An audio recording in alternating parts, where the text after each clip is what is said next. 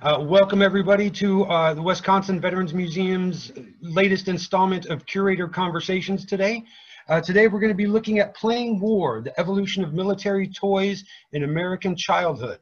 Uh, but before we get started on that though, I just want to thank the Wisconsin Veterans Museum Foundation uh, for their continued support in this free programming. Uh, they do a fantastic job in supporting all the programs we, we do, not just the curator conversations, but also the trivia nights that we have, um, the movie discussions, uh, and all of our other virtual programming that we are putting online, to include our upcoming cemetery tours. Uh, every year, the Wisconsin Veterans Museum hosts the uh, Talking Spirits uh, Forest Hill Cemetery tours. Uh, this year, we have to do that virtually. Uh, but we've put together a really great tour for everybody. We've included a lot of stuff that we haven't been able to include in past tours, and that will be uh, coming out on October 15th on its own platform, and you'll be able to access that whenever you like. So look forward to that information coming out very soon. Uh, we're excited to roll that out, and we hope everybody uh, participates in that. Uh, it should be a great program this year. Um, so thank you again to the Wisconsin Veterans Museum Foundation and their executive director, Ms. Jennifer Carlson, for their continued support and all this free programming that we get to do, I would say here at the museum, but we're not here at the museum, at least not yet, hopefully soon though. Um, I would like to introduce uh, our speakers today. Uh, first, Mr. Gregory Lawson, who is our gift shop manager, uh, and Mr. Michael Olson, who wears a couple different hats at the museum. He works with me in the education department, and then he also works with Mr. Lawson down at the gift shop. Uh, and they, like I said, are going to be talking about um, the evolution of military toys in American childhood today. Uh, gentlemen, I will turn the platform over to you. Oh, but before I do, uh, if I could just remind everybody, if you do have any questions, please submit them through the chat function. Um, I will get all the questions together as the program goes through, and then we'll address the questions uh, in the last 15 minutes or so um, of the presentation. Uh, so if you could just use the chat function to submit your questions, that would be fantastic. Uh, and Greg, Mike, the floor is all yours. Okay.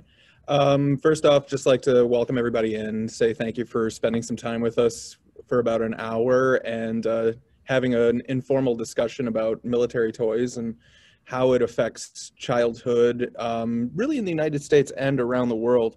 Um, I've been with the museum for about 10 years as the gift shop manager, started in 2010. And um, so I'm kind of excited to do this and kind of talk with you a little bit. Yep, me too. Um, so this is um, going to be fun. We're going to start in the late 19th century, although military toys go back um, far further than that. But we're going to start with the little, the little lead, the little metal army men that everyone kind of kind of knows from the Victorian era. Yeah, one of the one of the constants that um, while doing the research for this particular talk um, that you that I noticed in particular in dealing with the idea of childhood play was the idea of children consistently using um, military toys as a way to make sense of the world around them. It's a way for them to understand adult ideas and adult situations, current events, what's going on in their home lives, what's going around going on in the country, what's going on around the world and even though the toys change from tin soldiers to plastic to GI Joe to video games today, the basic motivations are the same.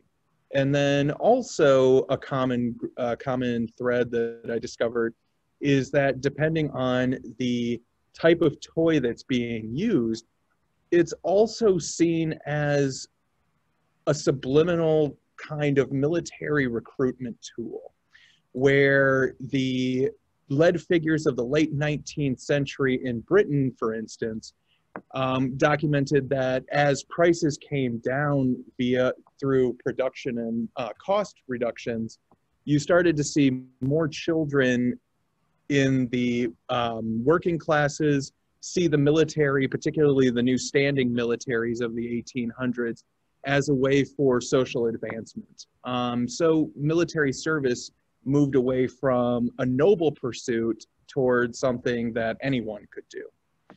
Um, I found that to be incredibly interesting when we were doing the research.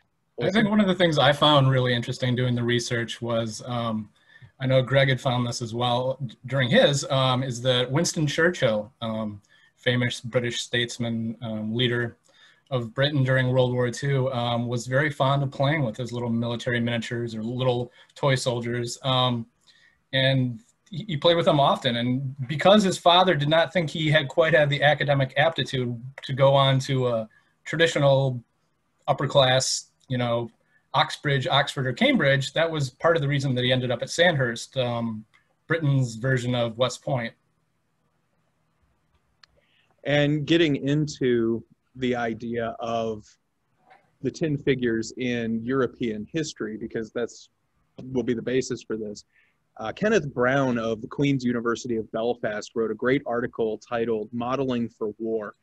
And in it, he looks at the motive, he looks at the effects of 19th century tin lead figures on, um, on children during that period, but then also leading up into 1914 and seeing how there's a correlation between the play of tin of leaden figures and then also britain's recruitment efforts during world war one in the early years. And it's a very interesting article highly recommend it.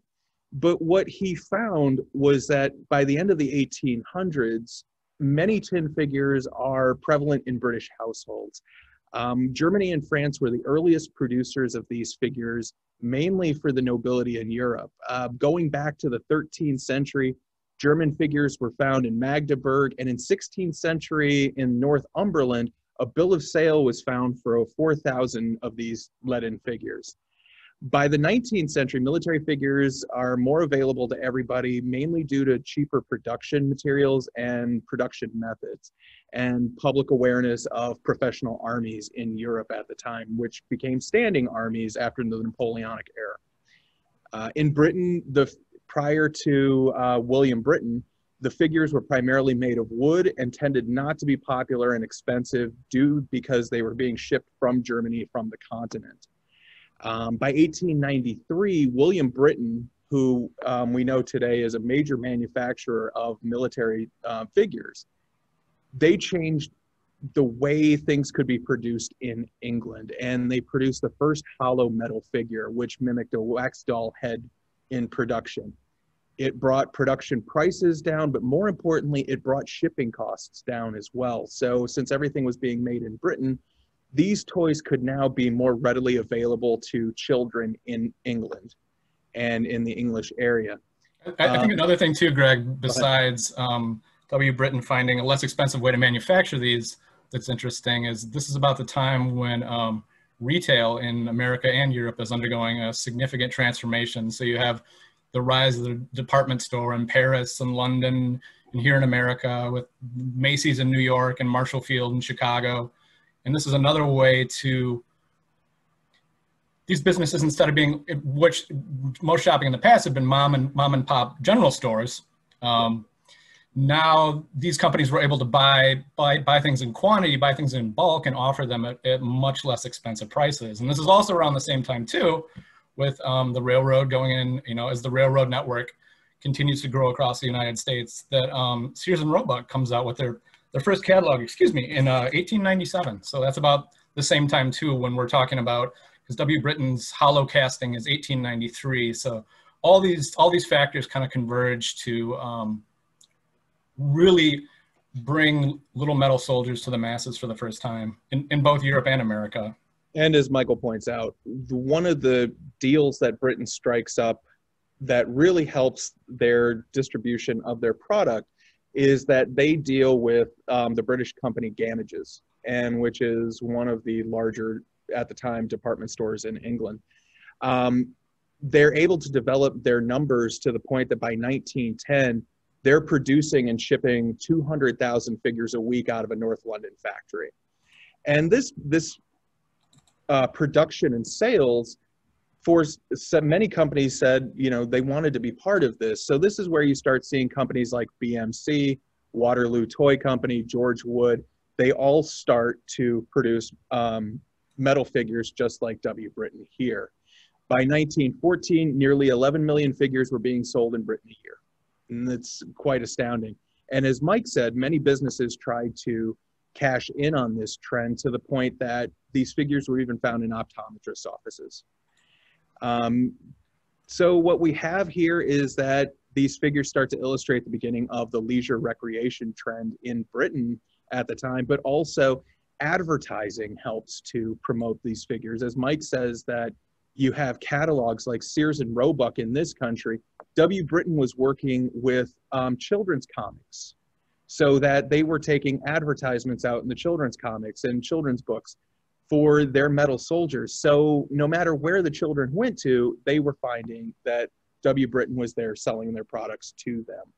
I think that's fascinating that that the, that comics, the tie-in with comics is a um, way to market the the soldiers to children goes all the way back to the uh, turn of the end of the 19th, turn of the 20th century because as as you as you I'm sure you found out as well when we get to post World War II America, especially when you get into the 50s, 60s, kind of the what I think is considered the golden, correct me if I'm wrong, golden age of comic books. That's really when they start, these toy companies start figuring out that, um, hey, we should really, this is a great way to market market our toys. And then you take a look at even during World War II, for instance, Captain America, Marvel Comics, uh, Namor the Submariner, Batman and Superman are well established characters by World War II, but Captain America comes to prominence because he's participating in World War II. So it's another way to get the kids out there and get the kids behind Marvel Comics and then whatever is in the Marvel Comics at the time. Uh, one of the last things that's interesting about the William Britain series is the kids weren't the only ones who saw the importance of these military figures. Um, even British military commands saw their benefits, particularly after seeing how the Prussian armies of the late 19th century used military miniatures to help their wargaming in something that they called Kriegsspiel.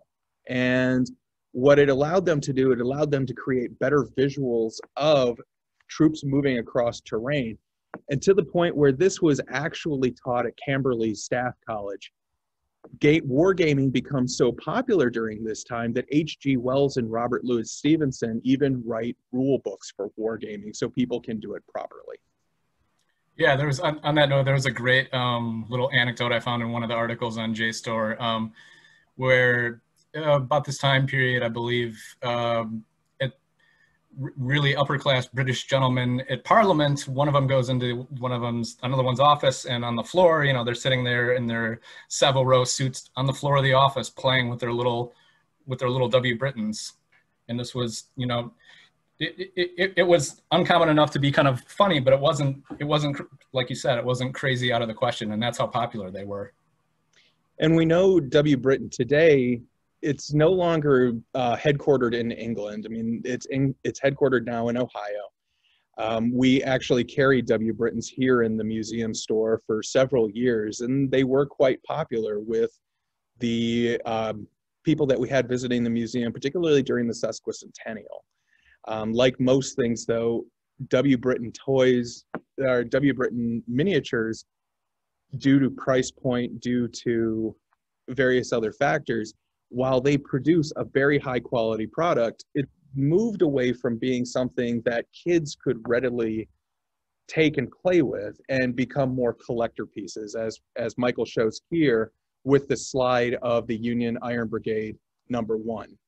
So they go from being pieces that in the early 1900s would have been a dollar a piece to now you're looking at $40 a piece. So it's much harder to create a set.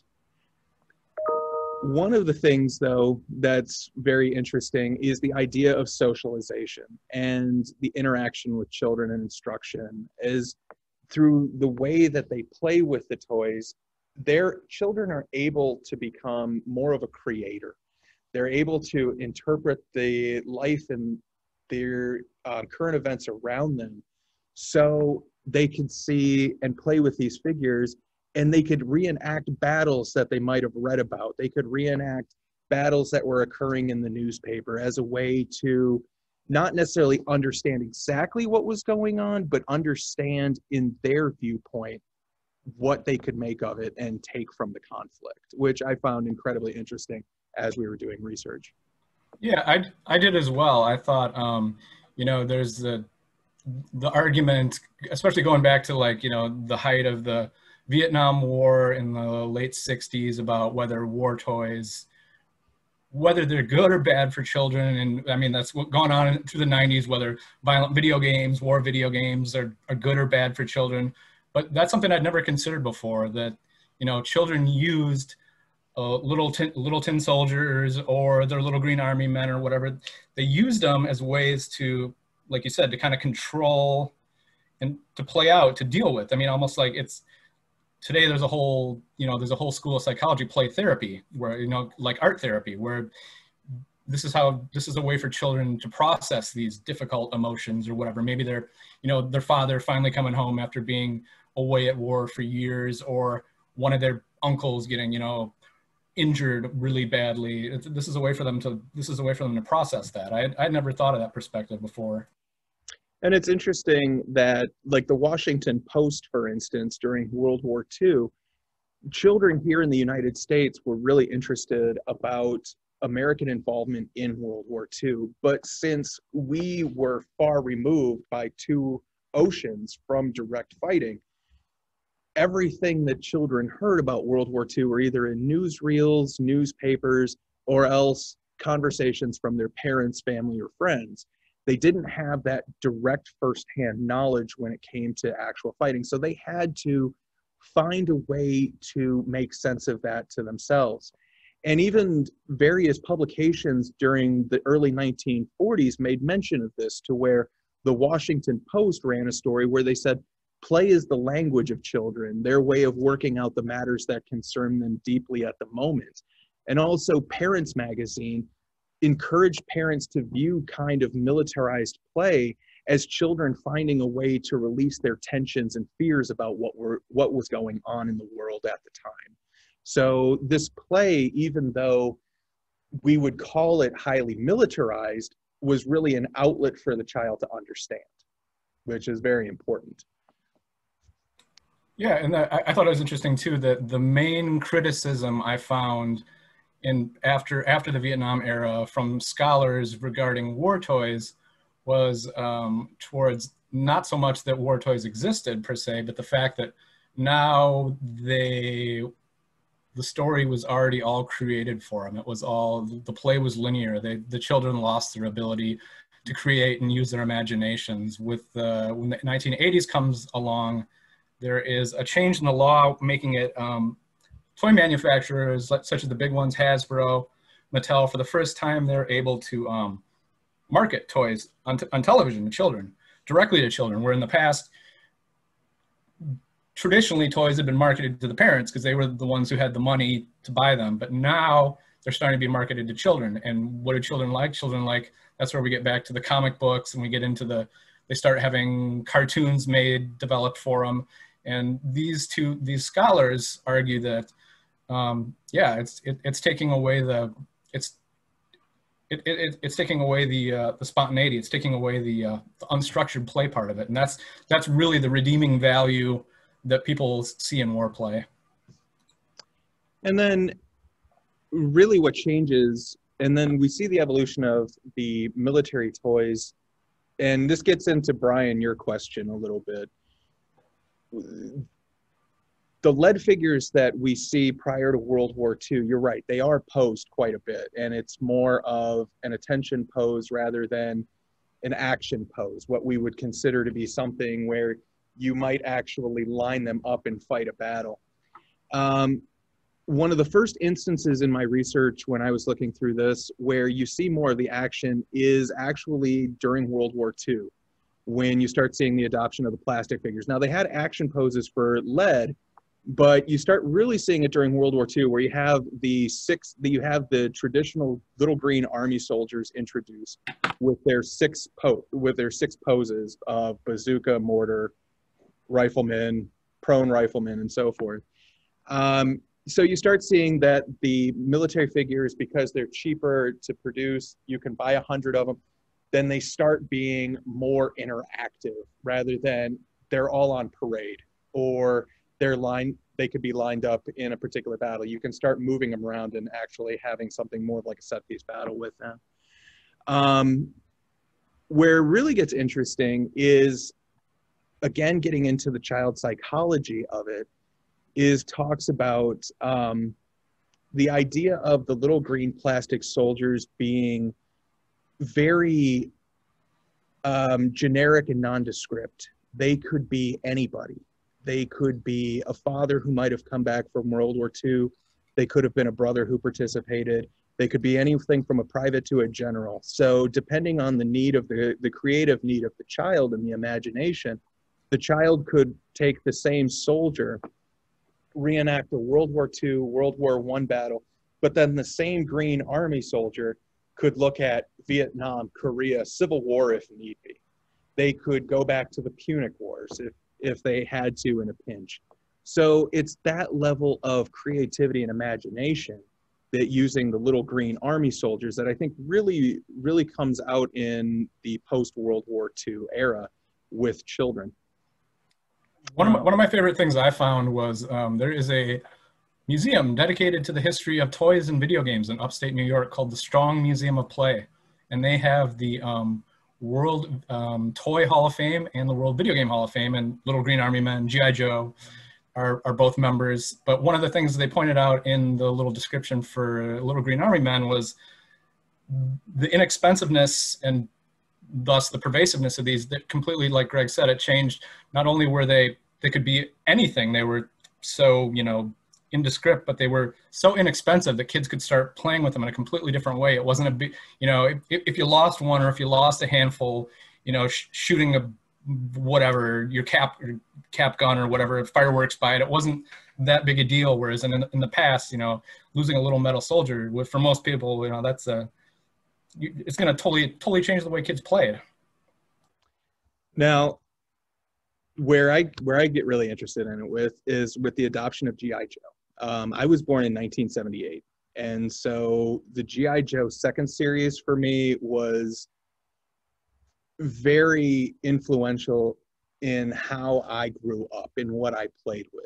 Um, I collected many of the G.I. Joe figures, had a lot of the vehicles, and to the point where, you know, I had quite the army on both sides. And it was neat for me to be able to go to various stores like um, in when I was living in Wisconsin, it was Shopko Prange Way, and Eau Claire. And then when I was in Virginia, we could go to Toys R Us and we could go to KB Toys or GI Joe, like the W britain figures. They're even sold in um, drugstores like Revco or Walgreens during the time.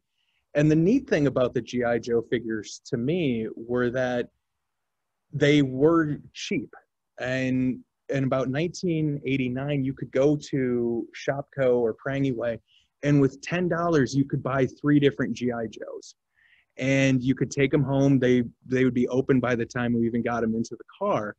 But then you could play with them right away, and you could take their poses. But then automatically, right after taking them out, they started to become the object of play. So they could either have their intention of being a military figure, or else we could wrestle with them, or else play football against, um, like my He Man figures, for instance. So it really was only captured, um, limited by my scope of, ima- of, of imagination. Um, you want to talk a little bit about the beginnings of G.I. Joe? Sure. So, yeah, the beginnings of G.I. Joe. So, we've kind of moved on from plastic soldiers. 19, here, let me pull up the slide. I believe it's 1959. Hasbro, so there's basically, there's two main toy companies in the world today, started off in America. Hasbro out of uh, Rhode Island, uh, the Hassenfeld brothers, two immigrants from Europe came over.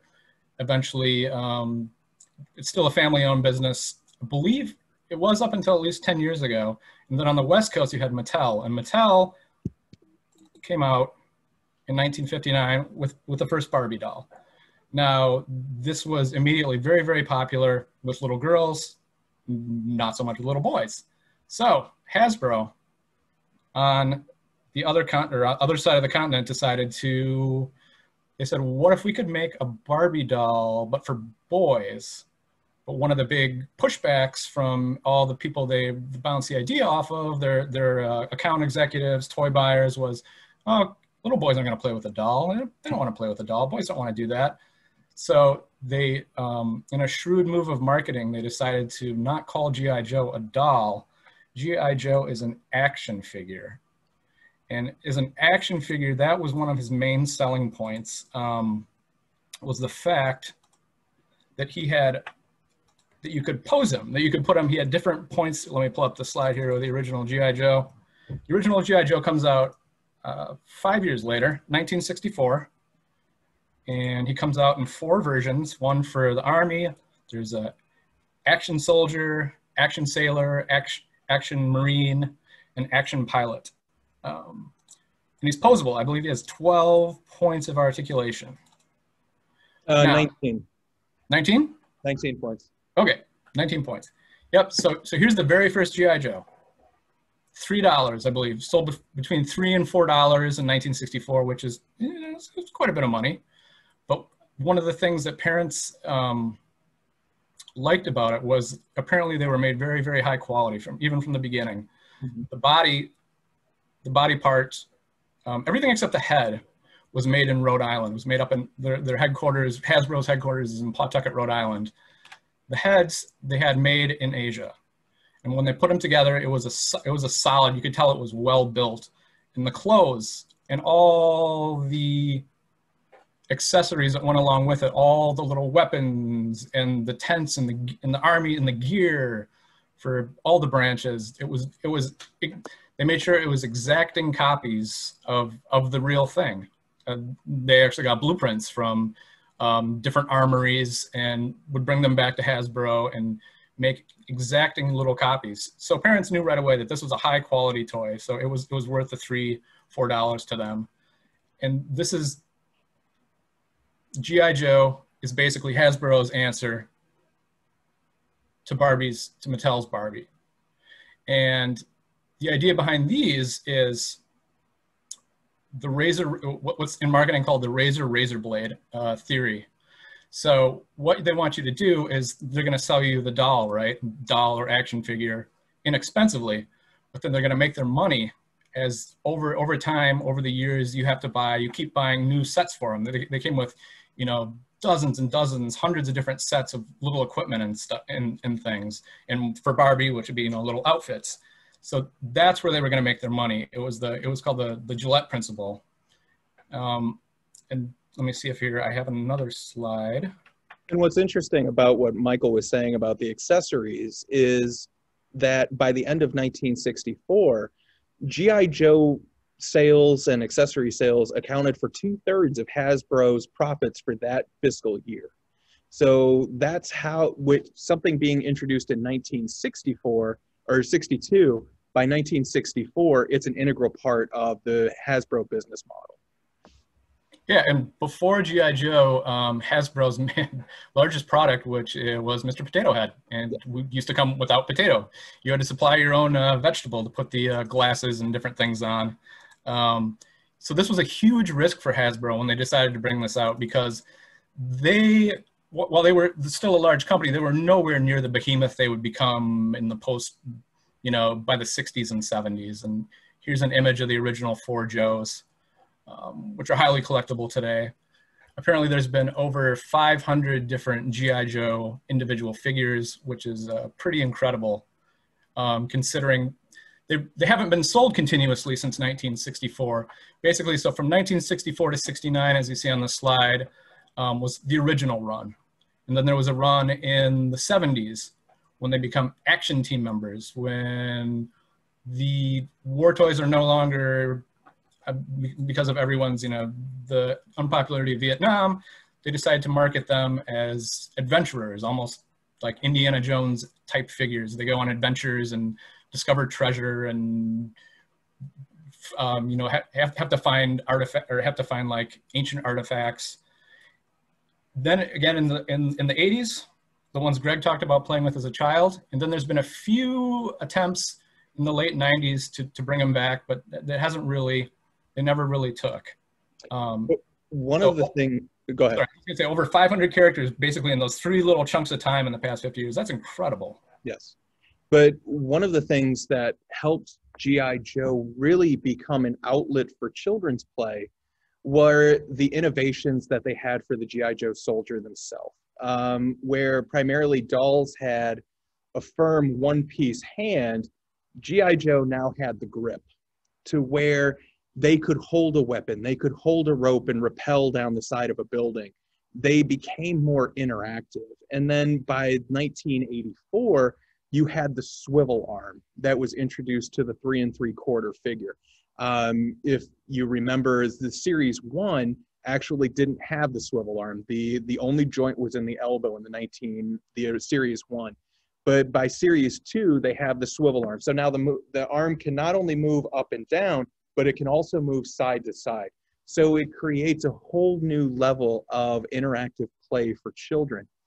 Um, one of the things that's interesting is that, as Mike said, G.I. Joe originally in the 60s, it faced a lot of challenges from Vietnam War. Um, it just became unpopular. So G.I. Joe goes through its through its 40 years, it goes through about four or five very significant rebrandings to make it more appealing and to keep it um, available on the toy shelf. So people pick it up and don't associate it with the war that's going on in Southeast Asia at the time. And that's where I think setting it up as the adventure series of GI Joe is is very interesting. But also by 1970 they're given lifelike hair and and a beard and such. So it really it really starts to take on its own identity um, in dealing with the three and a, three and three quarter figures we see that that's impacted by the 73 OPEC embargo. And so Hasbro, in a way, had to cut, had to find a way to produce the figures in a cheaper manner. And so, due to rising oil prices and production costs, they went to more of what they called a, um, they just reduced the amount of petroleum that went into the products. And it ended up create, creating a much less durable product by the end of the 70s, meaning that G.I. Joe, as you were playing with him, he went from being a rugged figure, something you could throw and really play hard with, to something where if you picked it up, his leg might fall off or his arm might fall off. So the quality went down. And as a result, the sales of G.I. Joe initially in the 70s went down as well, to the point where they had to introduce enemies for G.I. Joe called the Intruders, which were super intelligent cavemen from space. But this eventually would set the groundwork for their enemy that we most associate with G.I. Joe today, and that's Cobra. Let's talk about the slide I have here with the um, toy machine gun. I, now, this this fascinated me. Mattel burp gun. Um, so the Mickey Mouse Show is, is one of the first uh, programs aimed directly at um, new television programs aimed directly at children um, in the late 50s or mid to late 50s. This was advertised during the Mickey Mouse Show. Now you go not only not just you know roughly 10 years later you go from this something that this is just shows the kind of environment that GI Joe was originally born into to this Lego piece ad where other companies other toy companies were del- deliberately marketing their toys as not being military having nothing to do with the military or with war. And I found that fascinating. Um, there is no way that, and, and, apparently this was a very very popular toy. Uh, President Eisenhower at the time apparently had trouble getting a um, a few of these for his grandsons, and it's just it's incredible to think that within 10 years, you know, how much the uh, climate around toys had changed in America.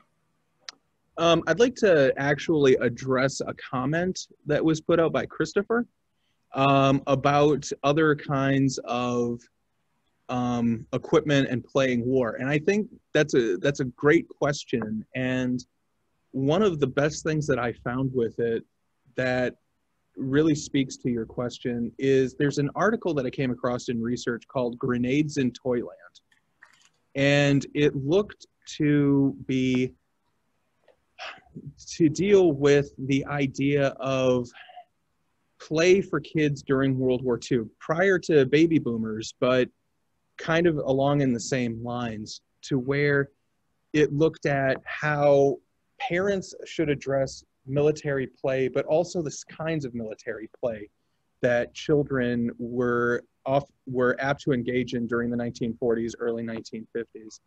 And the article talks about everything from children's books taking on a military theme. You started having um, kids who might have been in the Civil Air Service, um, adventures about them, um, dealing with children who might have been on a coastal coastal area and how the war would have impacted them. So they were com- they were getting influenced through literary means, but then also magazines like um, Popular Mechanics were giving out diagrams on how to make military toys like jeeps, anti-aircraft guns, other kinds of fortifications from cardboard so that as metal was going towards being used in the um, the war productions, kids at home could still find a way to interact and play along play in with uh, military style toys.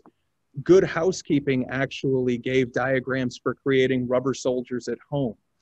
Um, you also have a rise in military uniforms being sold and targeted towards children. And then, as you said too, board games. Um, board games start to see, you start seeing a lot of kids playing with board games like Risk. Um, again, Popular Mechanics came out with several different games that were targeted towards um, children playing with a military military style board game as well. Um, the the farthest that I went up with that this goes up is to about the late 40s, but that's probably the closest I came in my research to what your question was referring to. Um, yeah, in, in reference to that, um, I know Greg said that he played with the uh, the 80s GI Joes. I think I did too as a kid. I was born in 83. Um, I like to play war, but I, I, this was back during the era when you could still find Army Navy surplus stores in your town. So I I my toy of choice, I guess, was were, were Lego Lego blocks. But when I played war, which I love to do, I would I would get the little fatigues and I would actually get the stuff, the old gear from the Army Navy surplus store and act it out that way. And two, this was I mean my grandparents' generation were you know this is the greatest generation, the ones that were just in the tail end of the Second World War. So I really looked up to them. And um, personally, that's how I related to warplay as, as a kid. And then I guess I found in my research too that I can't find it in my G.I. Joe book right now, but um, G.I. Joe became popular. When it became really popular in the 60s, um, they decided to license the brand out to different items. You know, just like you would think of um, popular children's thing today, right? You got lunch boxes, you have you have Disney characters on candy at the grocery store they GI Joe in the '60s made um, child size replicas of, of all these items, so kids could actually play play war themselves, get dressed up in little toy soldiers, which or as as as toy pretend soldiers, which I thought was really interesting. Um, and that went along too with their uh, GI Joe club. You could um, join a club where you would um, for a nominal fee, you would you would get a certificate in the mail saying you were a member. You would get a little custom dog tag, and you would get a newsletter telling you, you know, every every so often about different GI Joe club members, what they were doing either with their um, with their Joes themselves or what they were other little boys were doing playing war with the with the boy size equipment.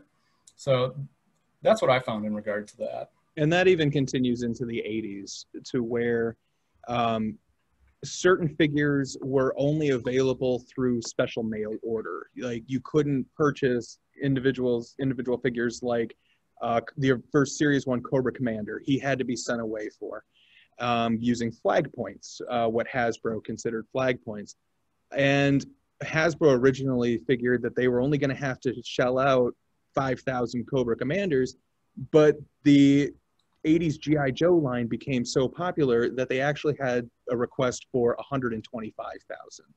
So they had something, they knew they had something on their hands when in the first year they did $1 million worth of business. By the second year, Series 2, they, it had moved to $100 million a year in G.I. Joe. But then as quickly as it starts, G.I. Joe in the 1980s pretty much it starts to flounder after about five or six years. And what you have is that one of the major challenges for the 80s GI Joe came from one of the major inspirations of the 1980s GI Joe, and that was the 70s Kenner Star Wars figures. And what ended up happening was that Hasbro needed something to go against the three and three quarter Kenner figure. Well, as G.I. Joe took off, Kenner started to run into financial problems and eventually they were bought out by Hasbro. And so you, most of your Star Wars toys today are produced by Hasbro. As G.I. Joe began to wane, Hasbro started to move their focus towards the Kenner, the Star Wars line, and by the early, by 19, the mid 1990s, you started you stopped seeing GI Joe as a product on toy shelves in various toy stores.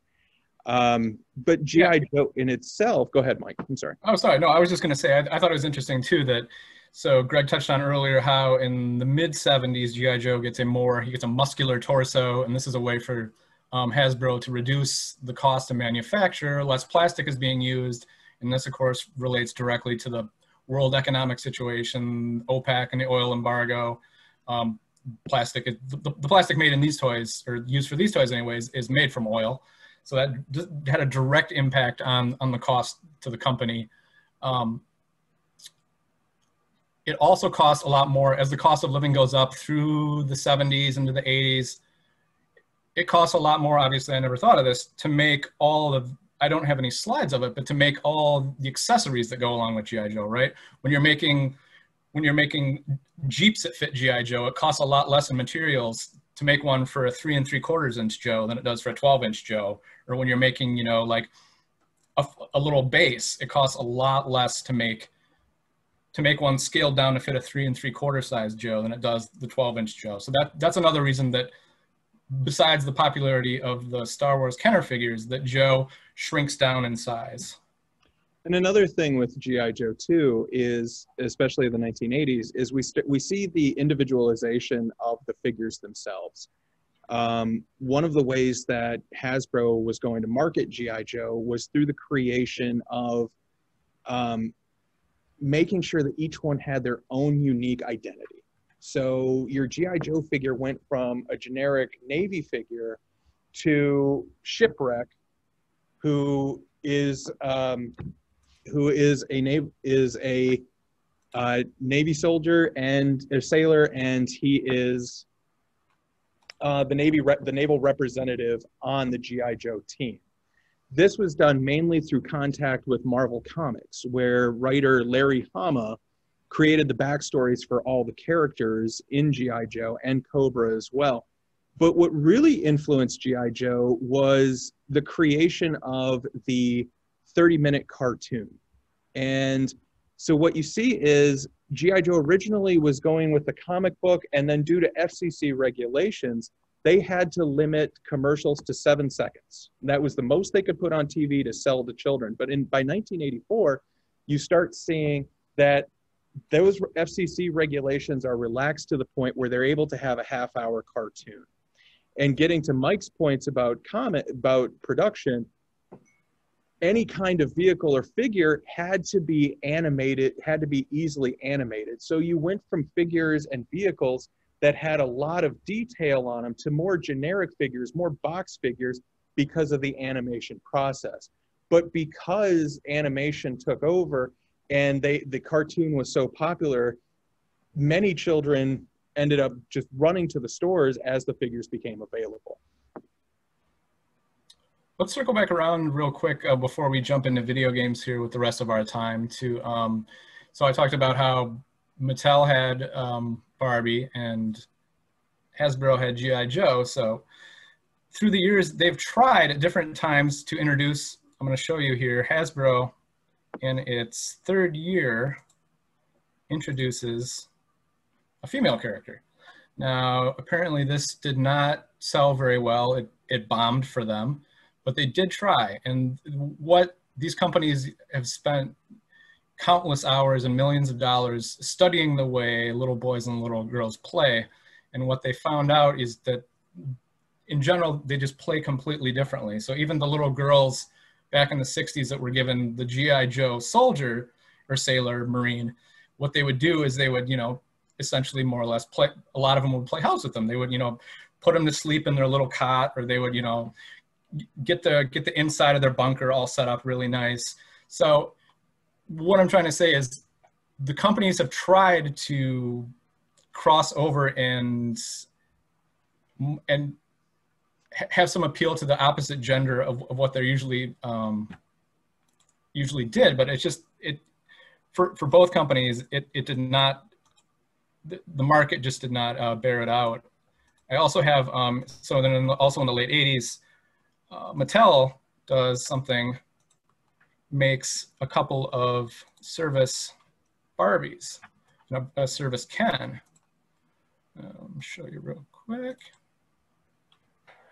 So again, they've, so apparently Barbie's had over 200, 200 careers, 200 different occupations in her long career. And this, this was one of them, Barbie's in the Army. These were, um, the Stars and Stripes collection was for about four years. And this one is actually on display in our museum, and our galleries. Um, it just, it just didn't work. For some reason, you know, ha having girl soldiers and having boy um,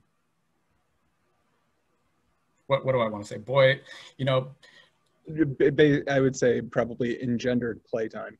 Right, right. I mean, like crossing over crossing over genders just did, did not work from a financial standpoint from these companies, and I think that would be the main reason that neither one you would you would not see see those things um, today. Well, but in in response to recent um, requests for more gender equality. Um, what happened in October of last year is a schoolgirl from Little Rock, Arkansas, named Vivian Lord. She wrote to BMC, which is still one of the larger producers of plastic little green army men out there. And BMC had previous requests for female representation in the little green army men. And finally BMC said the Vivian Lord said, you know, where's my representation? Where where are the toys that I can play with? And BMC finally heard them. And so later this year, early next year, you're going to start seeing the uh, female Green Army soldiers that are available to play with with the rest of your uh, Green soldiers, which is I think is actually really cool. I think it's a it's it's a really neat thing to see, and um, hopefully it opens up a whole new avenue. Um, do you think we have time to get into video games? Oh yeah, we can touch on video games. I think real quick. Yeah. So, so video games. Um, in about the mid to late 70s are when video games start coming from arcades or arcades bars you know where the first video game systems like or arcade machines like pong were located the first attempts at making a home console um, come about. Magnavox makes one, the Odyssey, they don't sell very many of them. then Atari makes its first home system, the 2600. And video games, at first, in the early years, the graphics are very primitive, especially compared to what we're used to today. Um, I have a slide here that shows what a 2600 game looked like. This game was Commando from 1988. And if we had an Atari, then you're probably most familiar too with the game Combat, where you could be the plane, a biplane, and a tank, if I remember correctly. So we go from this, um, the change in, in, in, technology, the rapid rise in technology and quality is, is incredible just over a, a few short years. So here's the Nintendo Entertainment System, which far more, it's a more successful on the market. Far more people have what a video game looks like in this generation. When we go forward, Wolfenstein 3D. This is a computer game actually, but here you can see it's heavily pixelated, right? This isn't, no, they aren't using polygons yet to make three-dimensional characters, but as you can see, I mean, the graphics, it starts, each generation as we go forward in time, it gets just a little more realistic, a little more realistic. And then Doom, Doom is the first time you can play these type of games called first person shooters where like Wolfenstein 3D, you're not a little character like Mario running across the screen, a little, you know, half inch size character. You are, it's the first person view. You are the character.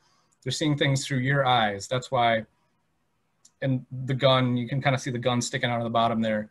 And you would go through these, um, you would go through the, the castle in this case, and you would go through a, a, a base, um, a base in space, I believe, for, um, for Doom. And you would go around and you would um, shoot the enemy this way. But Doom is the first time that you can play multiplayer games online. So no longer are video games, no longer to play video games with your friends, do you have to invite them over after school and sit down in your living room or, you know, ha have a sleepover. Now you can, with your parents' permission, or these are targeted towards a little bit older kids, you know, you dial up the internet on your computer and you're able to play friends over the internet but also getting into where I, for example i have an 11 year old son getting into where children who when i was 11 year old was who would have been playing with action figures now you have fortnite you have something where children can create parties customize their characters and then they become the first person they become third person interacting with the environment and other kids from around the world. And they're able to exhibit their creativity through customization of their particular character.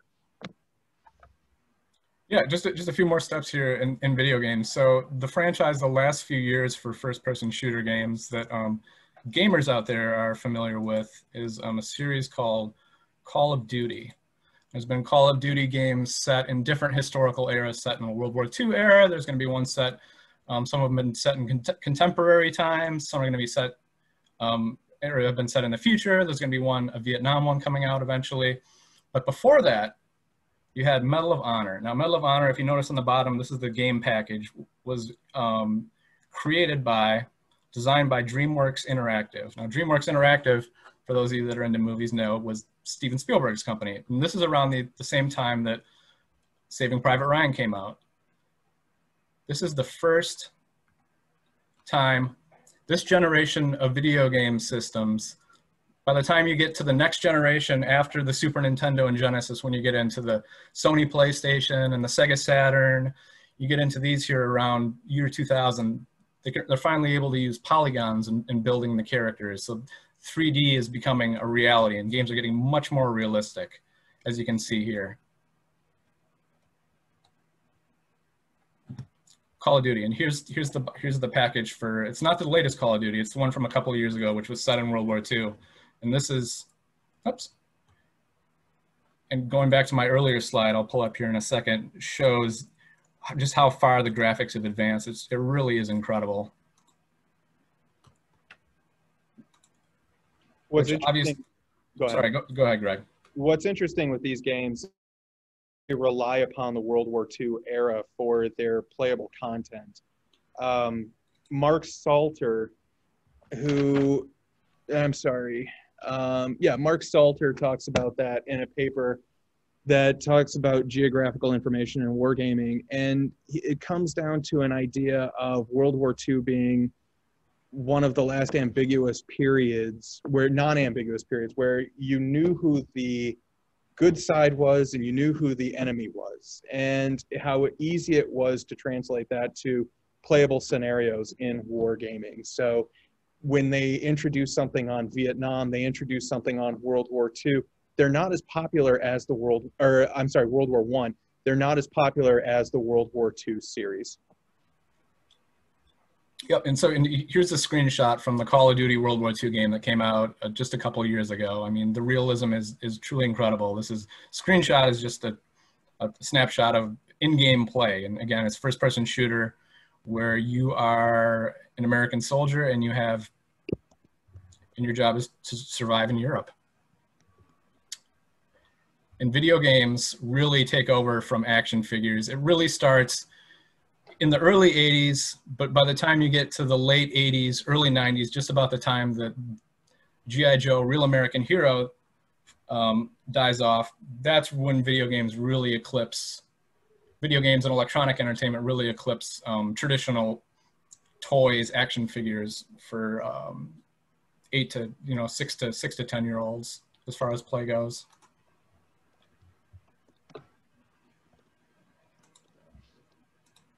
Gentlemen, you guys put in a ton of research on that. Um, I learned more about toys in the last uh, hour than I probably thought I ever would.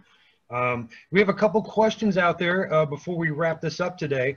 Um, you were talking earlier about uh, the origins of the tin figures, um, particularly in Britain. Um, but there was one of our participants who wants to know if there was any sort of big movement toward medieval or ancient um, warfare figures that were popular with kids um, that you guys came across in your research. Uh, actually, the article that I, re- I referenced by Kenneth Brown, um, he does take a look at that. It is brief. It's it's not a lot of description. It's uh, he he mentions it that because of price and because of availability in England, for instance, you have more of lead figures, tin figures being toys for the nobility, the people who could afford them. And they could contract to have them made because these were specialty items that had to be shipped over primarily from France and Germany. So they tended to be more expensive than the um, lower classes could afford to give to their children. If the children of the lower classes had anything, they usually made it themselves out of wood or any other kind of material that they had around. But if it was a well formed, actual formed figure, it came from the continent. I think too, this is the time um, right around you know the 1890s, 1880s through the up to World War One is you know right in the heart of the uh, imperial age, right? So everyone, your country is almost you know like like like your favorite team, and it's a big deal. You follow. Historians said you followed in the newspapers. You followed you know how your how your country was doing in its in its different colonies across the world. And this ties back to Greg saying that these little tin soldiers were a way to socialize little British children into, you know, playing into this, um, playing into this nationalism and, the, and, this imperialism that's going on. That you know, th- this is exciting. You want to be a part of this as a kid, and you're not. That's that, that's much more popular at the time than than thinking about medieval medieval times. Um, getting to a comment in the chat, Eric. Sorry to cut you off there. No, go ahead. But uh, Brian, your last, your most recent comment in there, you're right. Um, he lost a ton of money from the projection of it. One of the articles that I read is that he was offered three buyouts for GI Joe in 1962. He was um, an individual named Weston. Stan Weston. Yeah, went to Hasbro, and Hasbro offered him three things. They offered him fifty thousand dollars, a $100,000 to walk away or 1% of all profits going forward. And he, he obviously he had no idea what he had on his hands at the time. Nobody did. Nobody expected that GI Joe was going to turn into what it did. Um, so he took the hundred thousand dollar buyout and walked away. But if he would have taken the one percent, he could be sitting on at probably at least ten million dollars by now. Yeah, actually, actually, the I just watched that episode. You're right, Brian. That's a, that is a great series. The one on GI Joe um, interviews his son. Um, Stan Weston himself just passed away in the last couple of years. Interview his son, and his son estimates conservatively that if he would have taken the one percent, that would have netted his father at least thirty to forty million dollars compared to that $100,000, which he because got. he would have tied into movie rights, he would have tied into all of the merchandise, merchandise that were not even associated with the um, toys themselves. He would have tied into all of that. Uh, yeah, he would have been, he would have done very well for himself. But you know, you don't, you don't see them take that much. They take the hundred thousand dollars if it's given to them right away, and then they they just take off and go. And then another thing with Stan Weston. Um, so Stan Weston, this was originally his his brainchild. He brings it to Hasbro and Dan Levine. Stan Weston, throughout the years, has considered himself the father of GI Joe. Dan Levine is the, is the one who puts together the concept, builds out the toy line. He considers himself the father of GI Joe. So not only did Stan Weston lose out on millions of dollars, he he is he'd always felt throughout his life that he'd lost out on the credit of actually being the father of GI Joe, the, the, the creator. And then getting to another of the comments um, from John, You know, playing with figures like this, they're fantastic. Um, one of the things I wanted to talk, like I, when I came, when I grew up, I had the little green army soldiers, but I played mostly with the three three quarter GI Joes, and for me it was great, but it was also great to play with the fr- play with friends. And if you went over to a friend's house, you saw that they had like the USS Flagg, you saw that they had the Terrordrome, the Mobile Command Center. You knew like it, it became like a, a status thing among friends, but at the same time, it was a socialization thing among friends as well. Um, I remember when I was in third grade, one of my coolest dioramas I did, I took my Lincoln logs and I took my little green army men and I did a diorama of the Alamo. And even though that's 30 years ago, I remember it like it was yesterday because it was just a really cool project to do. And I couldn't have done it without my little green army soldiers. Well, I thought uh, John's comment too about how he um, and his brother had their Civil War battle sets uh, that came, and, and I do remember some of these, but his seems a little more uh, intricate than the ones that I recall. Uh, they had toy horses, he says cannons, caissons, barricades, and it even came with the Southern Mansion. Um, did you guys ever play with those uh, when you were growing up, or did you come across some of those in your research? I never, I never saw the Southern Mansion. I do remember the horses and the cannons and things like that, uh, the little pickets that you could put up. Um, in the article about the late Victorian Edwardian uh, modeling, where it talks a lot about the development of W. Britain, as prices came down for sets, um, you started to see more more sets being sold. Like instead of individual figures, one or two, you started to have five to 10 soldier sets being sold. So it became more commonplace for these sets to be handed out. And then as plastic is um, developed in the 40s, you it's easy to put a hundred soldiers in a bucket and you can just take and go and that's not very expensive at all either when it came to the actual developed sets, I, I personally didn't have one. No.